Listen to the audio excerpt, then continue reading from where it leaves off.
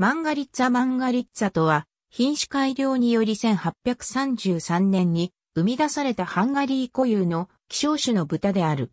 20世紀初めには約1000万頭飼われていたが、1991年には191頭まで激減。その後は国を挙げての保護策で絶滅の危機を免れて2004年にはハンガリーの国宝に指定された。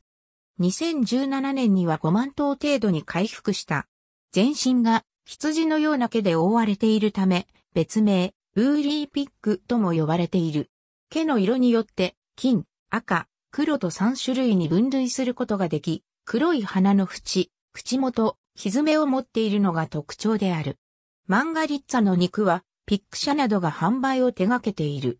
ハンガリーの高級料理店、グンデルをはじめとして、ドイツの三つ星レストラン、ビクターズやウィーンのツムバイセンラウフファングケーラーなどで使用されている。日本では、ピックサラミハンガリー社などが取り扱っているほか、日本国内で飼育されている事例もある。以下にマンガリッツァの系統の特徴を記す。ブロンドマンガリッツァ現存する系統では原種に近い。白髪に黄色がかった色の巻き毛が特徴。レッドマンガリッツァカルパチア盆地で飼育されているサロンタブタとブロンド系統とを掛け合わせ、1910年頃に誕生した品種。1933年までには31頭のメスのみになるなど絶滅に瀕していたが、その後、ゆっくりとだが増えてきている。ブラックマンガリッツァ絶滅したと言われている。スワローベリーマンガリッツァブラック系統とブロンド系統とを掛け合わせた品種。レッド同様に1933年には32頭のメスのみになるなど絶滅に瀕していた。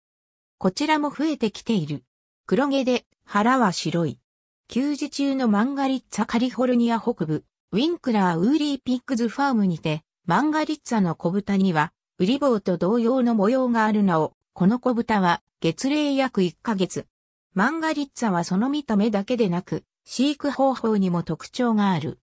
放牧による自然環境のもと、トウモロコシ、どんぐり、かぼちゃ、天才、小麦といった自然飼料によって肥育される。夏は水浴びをし、冬はマイナス30度の環境にも耐える丈夫な体を持っている。ハンガリーでは血統証明書付きで管理されている。一般の豚肉よりも霜降りの率が高い。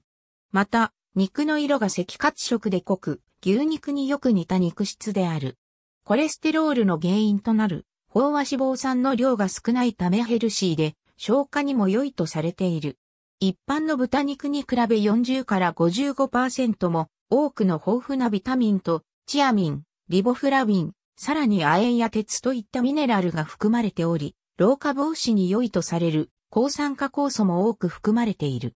食味が良く、脂質肉のような匂いもほとんどない。脂肪分が一般の豚肉より低温で溶けることも特色であるため、調理しても柔らかく仕上がる。ありがとうございます。